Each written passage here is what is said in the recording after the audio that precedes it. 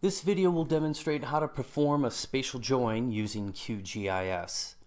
The data being used for this demonstration are point data of dairies in Washington State and polygon data of watershed subbasins that are at least partially within Washington State. A spatial join combines attribute data from two attribute tables into one table based on a spatial relationship between the features being joined. So in that respect, a spatial join is similar to an attribute join, but rather than combining attribute data based on a key field, a spatial relationship between the two features being joined is used to combine data. In a spatial join, we want to differentiate between an input layer and a join layer. The input layer receives the attribute information from the join layer, and the output will be of the same geometry type, meaning point line or polygon, as the input layer. So we've got data on dairies and on watershed subbasins, and say this is part of uh, you know a hypothetical situation where we're um, interested in looking at uh, agricultural runoff from dairies and how it might uh, impact watershed subbasins. So we want to combine the data together.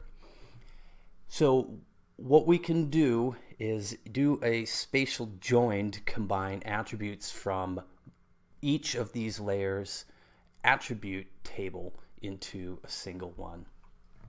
So let's just take a quick look at the attribute table for each of these. For the dairies, we see we've got a lot of information about facility size, the name of the facility or business, and address information. And if we open up the attribute table for the watershed subbasins, we see information regarding see, the, the area of each subbasin as well as name, states, or even country that it falls within. We've got Canada here. So, so we want to combine this into a single table. So let's say we want to have we want to maintain point data with the dairies, but we want to know for each individual dairy which watershed subbasin it's in. So we can do that through a spatial join. If we go to our processing toolbox, we can um, either type in join attributes by location, or we can just go to vector general, expand that, and uh, we see join attributes by location here. So we'll double click on that to open it up. For our input layer, we want the output to be the point data for dairy. So we are going to set that as our input. And to that, we are going to join or specify our join layer as the watershed subbasins. For the geometric predicate, here's where we're defining or uh, specifying the uh, spatial relationship between um, dairies and subbasins. So I'm going to choose within because I want to know these dairies for each individual dairy which subbasin is does it fall within. For a join type, We've got one to many and one to one here. So we're going to choose one to one.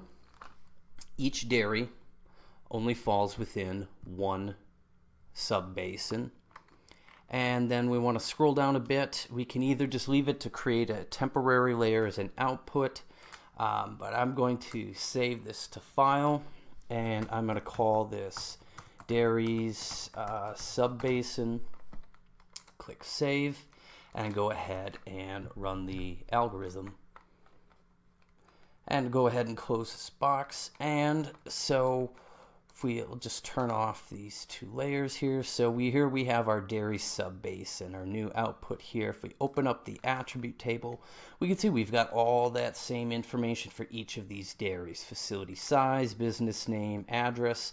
If we keep scrolling over on this attribute table, what we see is it's also now we've got the uh, data from the attribute table for the subbasins that's been appended here. So we can then tell for a given dairy, I'll just click on this one.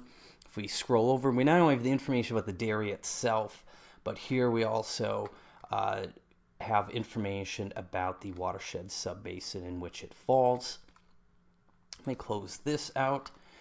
And but let's say we are interested in having uh, polygons as our output. So we want to maintain the watershed subbasins, but we want to have information about the dairies that are uh, contained within there. So we can open up join attributes by location once again, but this time for our input layer, we want to make sure that we have our watershed subbasins polygon layer selected. And to that, uh, the join layer is going to be Washington Dairies. For a spatial relationship, we want to pick contains. So we want to know um, which of the dairies are contained within each uh, individual subbasin.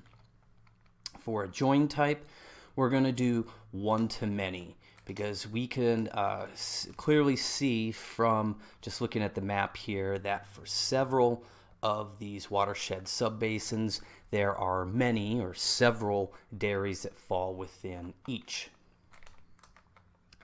And then scroll down uh, for joined layer. Again, we cannot specify anything and have a temporary layer created, but I'm going to save this to file and I'll call this subbasins dairies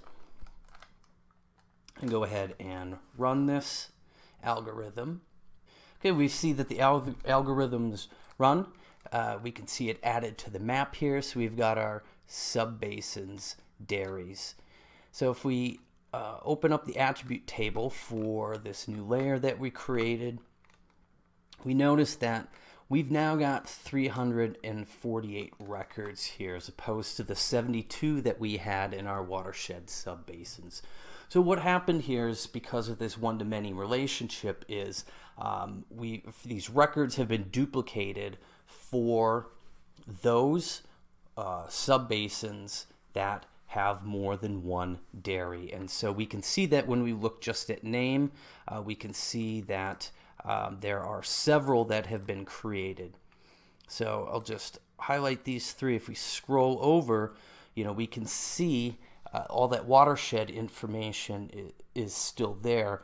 But if we're looking here, we can see business names. So we've got individual dairies are listed here um, for each of these uh, basically duplicated records for the individual watershed subbasins.